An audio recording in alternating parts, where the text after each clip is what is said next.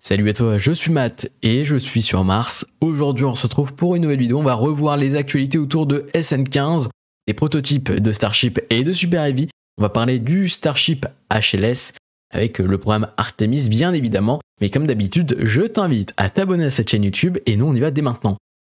Le 14 avril, le prototype SN15 a passé un test de pressurisation à l'azote cryogénique. Mais ici, sur ces réservoirs d'atterrissage, on parle du réservoir d'atterrissage de méthane, mais également d'oxygène liquide. Seulement en fin de semaine, les moteurs SN54, 61 et 66 ont été apportés sur le site de lancement pour une installation. Cette nouvelle génération de moteurs permet une installation d'un moteur en une heure, ce qui est très rapide. En faisant une petite liste autour de cette nouvelle génération, on retrouve un nouveau système d'intégration qui permet d'aller plus vite, un réagencement vite fait du câblage ainsi que de nouvelles formes sur les chambres. Néanmoins, le prototype SN15 fera un allumage statique seulement demain, c'est-à-dire le 21 avril 2021, pour viser un vol la semaine prochaine. Désormais, nous allons nous pencher sur les avancées des autres prototypes. Space Star Attack, un youtubeur et un artiste français, vous propose cette infographie. N'hésitez pas à le suivre sur Twitter et sur YouTube. Le lien est dans la description. Le prototype BN1 a été démantelé la semaine dernière très rapidement, une équipe s'est chargée de le découper pour l'emmener à la casse. BN1 est mort et BN2 arrivera très prochainement. À propos du prototype SN16, son corps principal est presque assemblé à 100%, il manque seulement la section de poussée et bien sûr, sa coiffe sera assemblée très prochainement. Il faut également intégrer le carénage aérodynamique, puis les ailerons et cela va s'accélérer dans les semaines qui suivent. Par ailleurs, la section commune de SN20 a été observée, elle a été fabriquée et elle est sur le site de fabrication. Est-ce que vous vous rappelez de cette coiffe qui était mystérieuse, mais il y a quelques semaines, je vous ai annoncé que c'était une coiffe d'essai pour tester sa résistance, du moins la résistance des coiffes de Starship. Euh, SpaceX veut tester, par exemple, faire des simulations du max Q, le point aérodynamique maximal. Et ce qui est très intéressant, c'est qu'aujourd'hui, la cage est presque complète et que le système de test pour tester la résistance se met en place petit à petit. Du côté du site de lancement, plus précisément vers le pad orbital A, on voit que la base euh, de la tour est désormais à peu près terminée, le coffrage a été retiré et les piliers arrivent sur site petit à petit.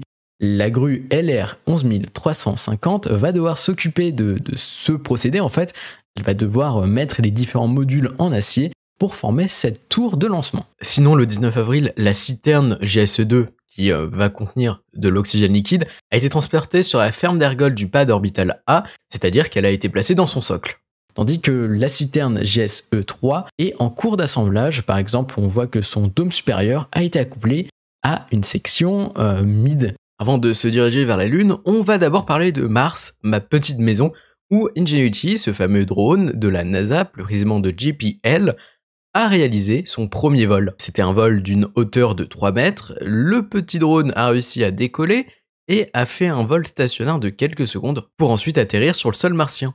Désormais, nous allons revenir sur le programme HLS, donc le Human Landing System. On va revenir surtout sur la victoire de SpaceX, mais également de pourquoi SpaceX et son Starship HLS ont été sélectionnés.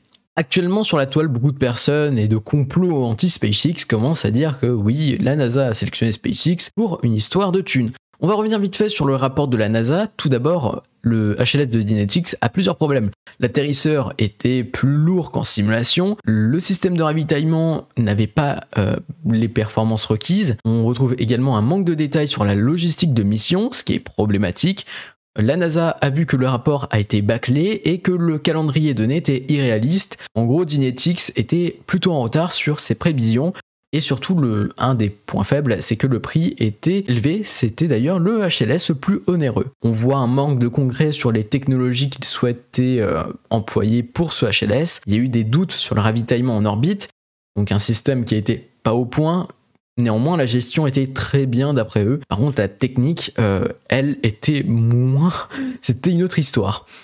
Par ailleurs, Dynetics ne proposait pas de lanceur pour envoyer l'atterrisseur, ce qui est un petit peu dommage quand on veut l'envoyer en orbite lunaire. On va revenir sur Blue Origin, enfin du moins sur le HLS de la National Team, on retrouve plusieurs problèmes. Euh, tout d'abord, Blue Origin exigeait des paiements initiaux du gouvernement sans rien avoir commencé, ce qui est absolument illégal. Et de plus, euh, il y a eu un problème de partage de données et de droits de propriété intellectuelle. En gros, pour vous la faire simple, ce sont deux fautes éliminatoires qui a coûté euh, certainement le contrat pour Blue Origin. En tout cas, le prix était en dessous de Dynetics, mais par contre, euh, au-dessus de SpaceX. La NASA n'a pas trop aimé bah, les trois étages, euh, c'était plutôt critique. On n'a pas eu de proposition de lanceur. Sinon, la gestion était très bien et la technique était bien.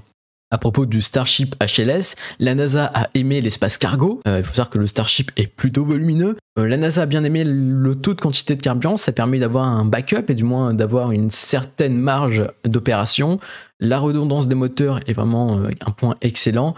Surtout, la NASA adore le système de deux SAS, parce qu'il y a deux SAS pressurisés qui euh, permettent de faire des sorties extravéhiculaires ou plein d'autres opérations. Le système de survie disponible à bord du Starship est super, c'est-à-dire que imaginons que le Gateway, la station lunaire, un problème, eh bien euh, l'équipage peut vite se réfugier dans le Starship HLS et euh, du moins être en sécurité pour repartir. Néanmoins, le moteur Raptor est complexe, mais la NASA trouve cela quand même acceptable. Par contre, le point positif, c'est que SpaceX propose un système de lancement avec Super Heavy comparé aux autres, donc c'est beaucoup plus réaliste. Le système de ravitaillement avec plusieurs euh, Starship Tankers qui vont ravitailler ce fameux HLS, euh, c'est quelque chose de plus crédible, sachant que SpaceX doit faire un test de démonstration en 2023. Par contre, le prix est un énorme point positif, c'est le HLS le moins cher, et d'ailleurs SpaceX va participer au développement et n'a pas vraiment besoin des financements de la NASA, ce qui est plutôt excellent. En parlant d'excellence, la gestion est excellente, on est en outstanding, et en termes de technique, c'est plutôt bien. La NASA adore le projet Starship pour plusieurs raisons. Bah, il y a eu de nombreux tests sur les moteurs, donc c'est plutôt fiable. Et surtout, SpaceX est toujours en train de développer des prototypes, en train de faire des tests comparés aux autres qui allaient avoir certainement du retard.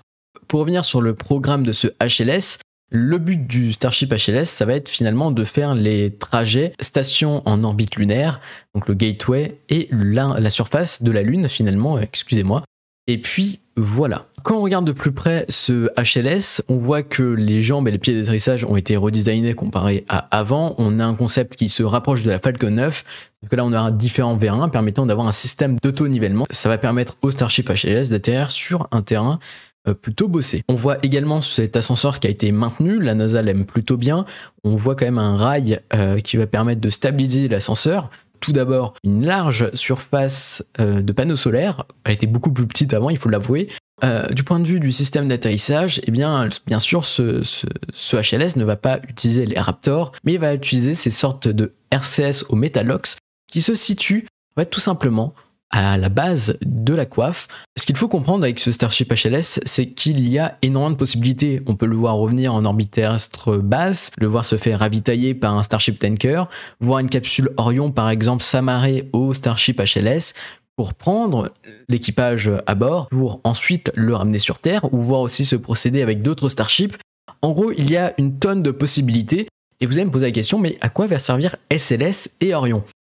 SLS et Orion, il faut comprendre que pour l'instant, ce sont seulement les euh, véhicules de transport d'astronautes direction le Gateway, donc la station lunaire.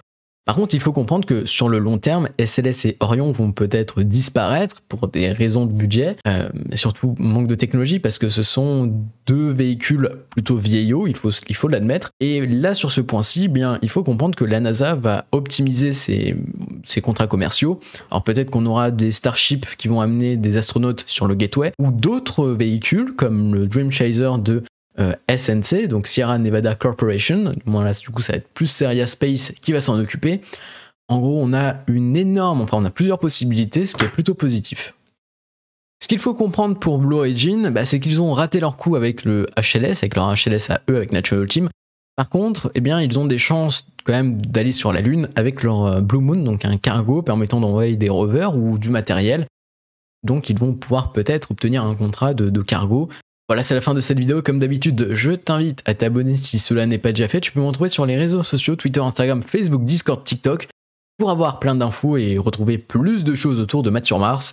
Je t'invite vraiment à activer la cloche pour ne rien rater. Moi, je te dis à très vite pour de nouvelles vidéos. C'était Math sur Mars. Allez, bye